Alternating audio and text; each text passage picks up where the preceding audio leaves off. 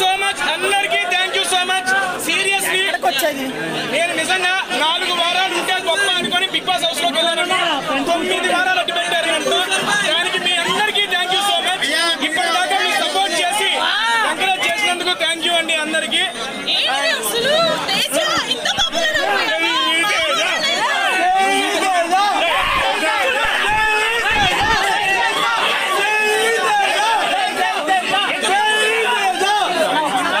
Congratulations!